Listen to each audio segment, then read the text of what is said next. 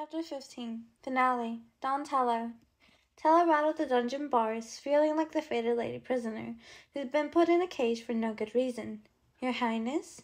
Magic strangled her from every time she attempted calling out for legend, but she was not in the mood to yell for someone who didn't really exist and cry out the name Dante, or even worse, Prince Dante. But there was something pleasantly mocking about Your Highness. She couldn't believe he'd had her arrested. Was it because he knew that she followed him the day before? She didn't think he'd seen her, but it still didn't give him the right to imprison her.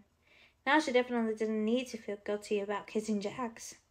Tella shook the bars again. The stone gargoyles, impelled by the tops of them, peered down on her with bulging eyes. She didn't know how long she'd been locked up here, all alone, but she'd been dragged inside. She looked around at the other cells, wondering if Legend had brought his witch down here as well.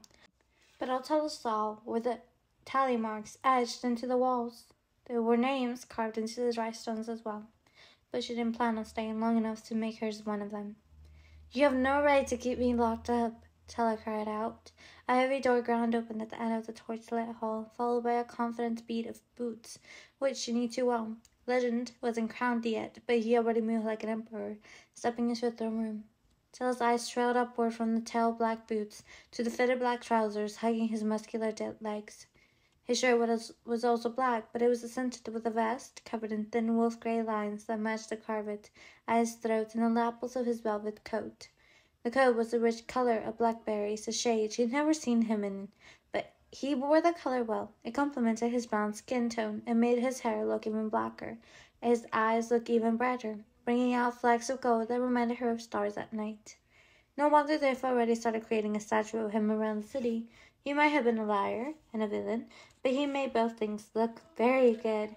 The other cells were empty, but he didn't even glance at them, and Tella had the impression the legend wouldn't have darted his eyes around even if the cells had been fully of deadly criminals. He moved like nothing in the human world could hurt him. He didn't need to look over his shoulder. According to the witch, he only had one weakness until it doubted it was in this dungeon. She couldn't believe she chased him into another world because she thought he was in danger, even though he could have been telling the truth about losing some of his powers. She should have known that he'd do whatever it took to get it back. Let me out of here, you bastard. I think I prefer your highness. He continued his elegant walk toward her, moving with unrushed strides down the dim hall. Someone else might have thought he didn't have any particularly strong feelings about his current situation, but Tella had spent the last two months sharing dreams with him. She was aware of his movements, aware of him. She noticed a tick in his jaw as he slowly raked her over, eyes traveling from her bare feet to her naked calves his gaze tightening as he reached her skirt with all its ripped up feathers. But instead of making a mockery comment, Tella saw lines form across his brow as if he were trying to puzzle something out. Was it possible he didn't know that she followed him to see the witch? And if that was the case, then why had he looked her up? She glowered at him with his probing gaze, traveled from her neck to her lips, and then, finally, her eyes. The dungeon suddenly grew very warm. His gaze was still tight and dark, but it was edged in heat that she felt all the way down to her toes.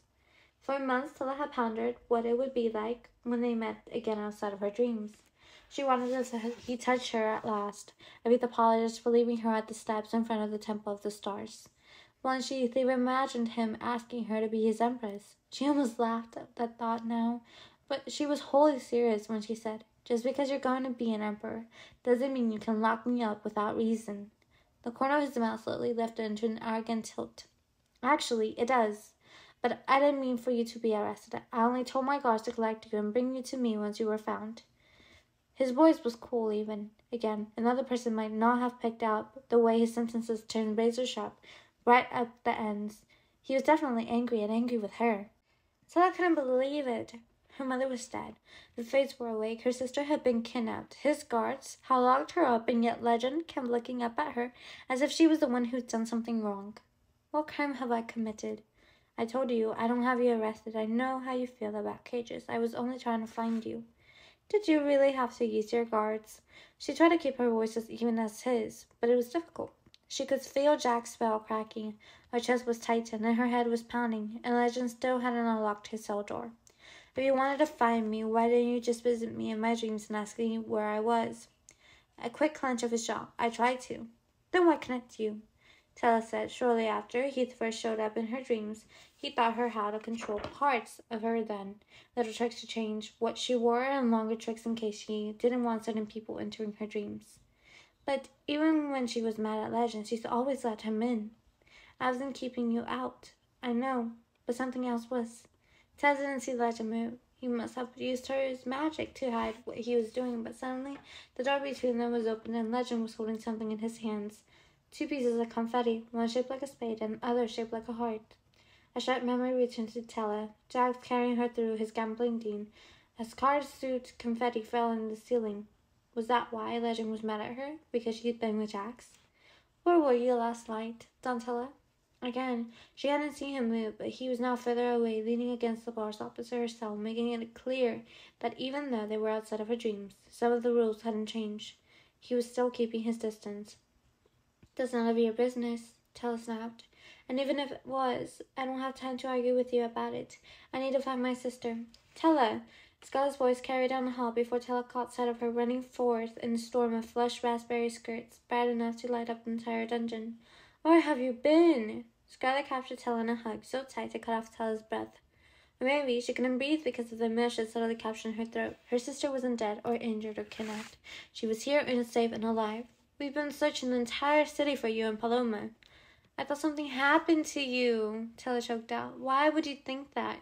Scarlett shot an accusing like a legend. He continued to lean against the prison bars, regarding Tella with narrowed eyes. I didn't get the chance to tell her you were here. Oh, good. You found her. Julian appeared at the end of the hall, swaggering forward as if the tension of the dungeon wasn't thick enough to choke on.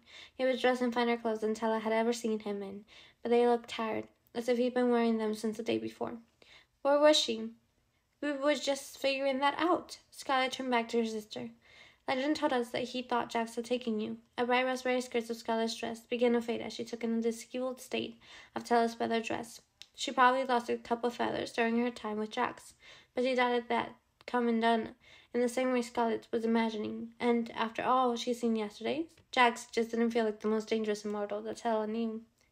Is your mother here too? Julian asked. Scarlett didn't say anything, but Tella could see the question in her eyes as well.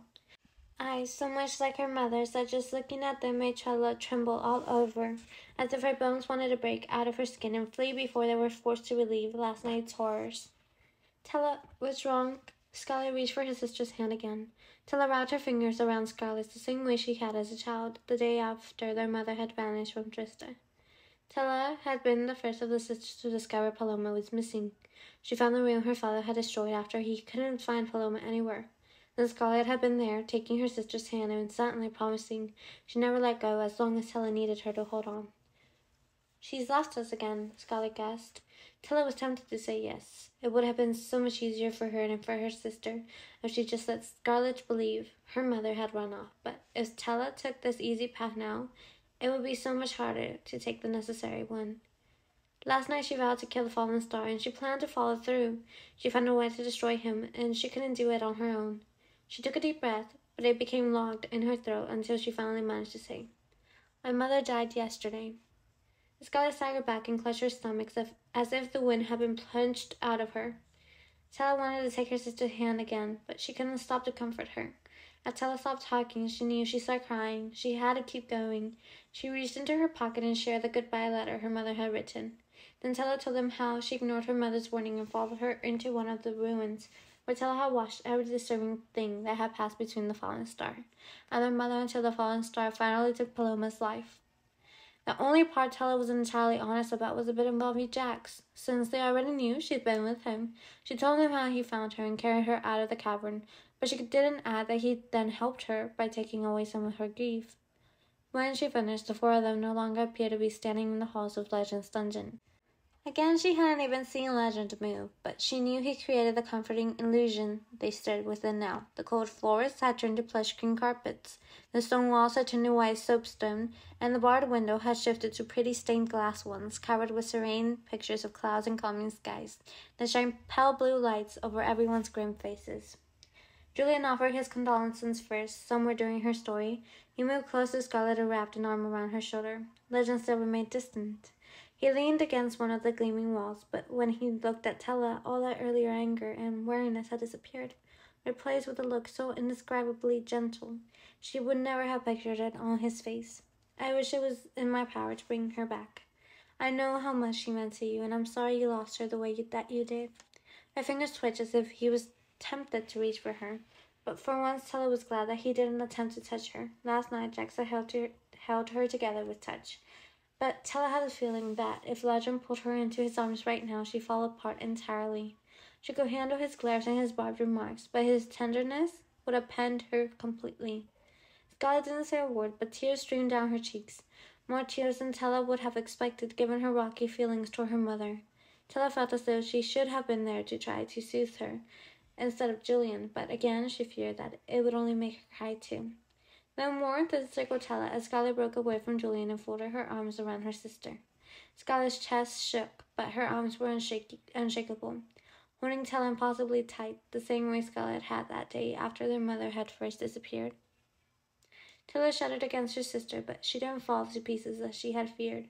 Their mother had once told them that there was nothing like the love of a sister, and this was one of the moments where Tella could feel the truth. She could feel her sister loving her twice as much as before, trying to heal the wound her mother's death had left. It was too soon for it to heal, and Tella didn't know if the hurt would ever completely mend. But Scarlet's love reminded her that while some things never healed, other things grew stronger. Maybe we should leave and give them some time alone, Julian whispered to Legend. No, Said, breaking away from Scarlet. I don't want to grieve now. I'll grieve after the fallen star is dead. We have to stop the other's fates as well, Scarlet added with a sniff. We can't let anyone else suffer like this or like the people we saw yesterday. What did you see yesterday? Tella asked. A family that was petrified the poisoner. Though we weren't certain it was him, or that the fates were really waking up until now, added Julian. But you suspected it. That's why you sent guards for me. Tella turned in legend, but if he'd actually been concerned about her safety and not just jealous of Jacks, it didn't show. Legend's expression had shuddered, and, and any trace of gentleness or tenderness had vanished from his handsome face. Did you see any other fates when you were with Jacks? he asked. Did you know who he's working with right now? No, Tella said. She might have said more. She might have told him where Jacks was and what he was doing in the gambling den. She was certain they were curious. But Jax wasn't the real enemy now. The fallen star was, and according to the witch, there were only one weakness that would allow him to be killed, and legend shared that same weakness. I think we need to worry less about Jacks, who actually helped me last night, and more about the fallen star. What is the fallen star's weakness? I don't know, Legend said. Yes, you do. Tella kept her eyes fixed on his. Earlier, his gaze had been full of stars, but now his eyes were soulless jet black, with midnight blue veins, the same color as the wings that Dante had tattooed on his back. How had she ever thought Legend was only Dante. Tella should have known from his eyes alone. Eyes didn't change color. Pupils might dilate, and whites might turn yellow or red, but irises didn't change the way that his did. Don't lie to me, Legend. Esmeralda told you that what the fallen star's weakness is the same as yours. Legend's eyes flashed, gold white. Lines briefly formed around them as if he were smiling. But they were there and gone so fast Tella wondered if she imagined it. Amusement was not the response she expected. What she said was useless, Legend answered, something like bitterness clouding his tone. If we want to defeat the fallen star and have a chance of killing the fates, we have to find another weakness. Wait, you went to see Esmeralda? The shock on Julian's face made it clear that Tella wasn't the only one from whom Leonard kept his extracurricular activities secret. Who's Esmeralda? Scarlett asked, looking between them. I haven't heard the name in a long time, chimed a new voice. As Hovan entered the glimmering hall, she was one of Legend's most welcoming performers, but she was perhaps also the most difficult of all of them to read. She was always smiling, always friendly, always cheerful. Since no one could possibly be that happy all the time, Tella sometimes imagined Hovan's grins were just another piece of the costume she wore during Caraval. But Hovan wasn't smiling today. Her dark brown face looked uncharacteristically stern as she approached Legend. In one of their dreams, Legend had told Tella that most of his performers had taken on roles in the plays when the last carnival had ended and he'd been declared the heir. Hovan appeared to be a high-ranking guard dressed in a navy military coat with blue tassels on the shoulder that matched the gold lines stripping her pants. Sir, may I speak with you for a moment? There's been another incident.